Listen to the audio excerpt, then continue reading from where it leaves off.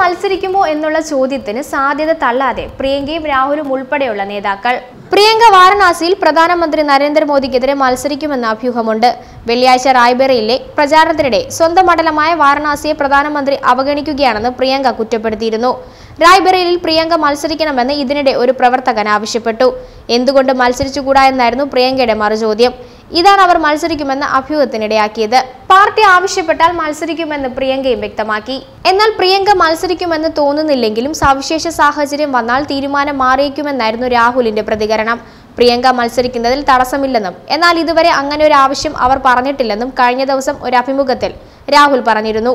രാഹുൽ വയനാട്ടിൽ മത്സരിക്കുകയാണെങ്കിൽ സുരക്ഷിത മണ്ഡലം തേടി ഒളിച്ചോടിയെന്ന പ്രചാരണം ബി നടത്തിയേക്കുമെന്ന് ദേശീയ നേതൃത്വം കരുതുന്നുണ്ട്. അത്തരമൊരു സാഹചര്യത്തിൽ പ്രിയങ്ക മോദിക്കെതിരെ മത്സരിച്ചാൽ ഈ പ്രചാരണം ഒഴിവാക്കാമെന്നും അദ്ദേഹത്തെ മണ്ഡലത്തിൽ തളച്ചിടാമെന്നുള്ള ആലോചനയും നടക്കുന്നതായാണ് അറിയുന്നത്. പ്രിയങ്ക മത്സരിക്കുകയാണെങ്കിൽ പൊതുപ്രതിപക്ഷ സ്ഥാനാർത്ഥിയാവാനാണ് സാധ്യത.